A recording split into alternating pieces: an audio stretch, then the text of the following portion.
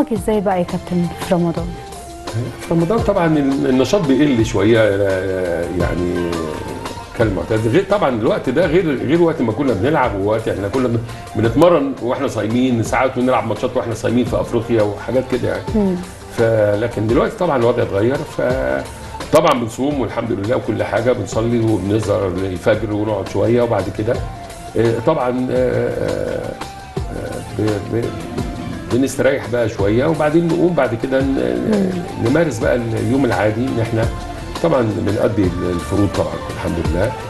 آه، ب- ب- ب- بحب أتابع بقى النشاط بتاعنا. أنا أنا بمشي كل يوم تقريبا وفي رمضان غالبا أمشي قبل الفطار يعني أو بمشي بعد الفطار بالليل يعني يمكن آه، عشان المطرح الأكل والحاجات دي كلها الواحد يقدر لأني متعود كل يوم أمشي.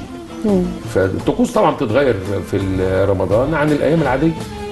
بس شفنا حضرتك في في الفطار يعني ليك طقوس كده معينة يعني بلح مش عارفة عصير آه،.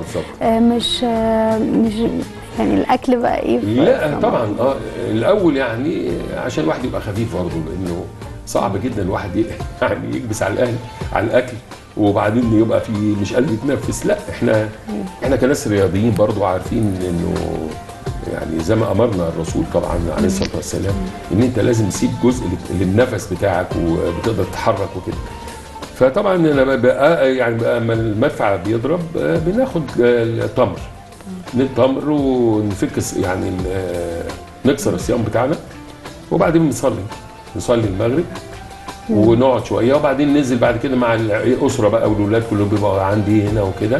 بنبتدي بقى نفطر ونقعد قعدة جميلة جدا.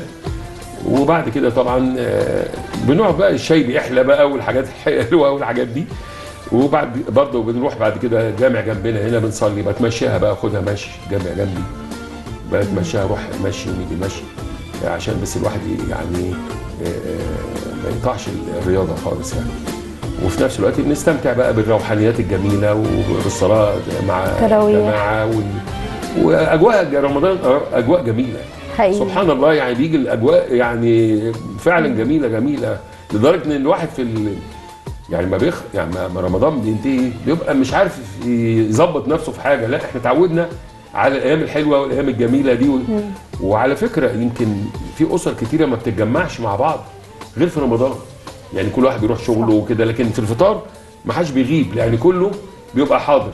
فإذا الأسر دي تتلم فعلا آه، رمضان بيحب اللمة وهي فعلا اللمة تبقى آه، جميلة جدا في رمضان لأن كله بياكل في وقت واحد. أول يوم رمضان بقى يعني متعود يبقى هنا في البيت وال- والأولاد آه آه رمضان طبعا دلوقتي ما عادش بلبي مثلا دعوات كتيرة بتبقى كده لأن برضه بتبقى الظروف آه، بيبقى صعب شوية لأن رمضان بيبقى محتاج وقت يريح الواحد يقرأ شوية. برضه بيحب يقرا وخلص مثلا المصحف ونقرأ فيه فليه طقوس خاصة؟ فالواحد بيتفرغ لها شوية. فلذلك ال- ال- يعني ما أعرفش إن العزومات بره بت- بتأخرك شوية عن حاجات من من اللي أنت بتحبي تعمليها.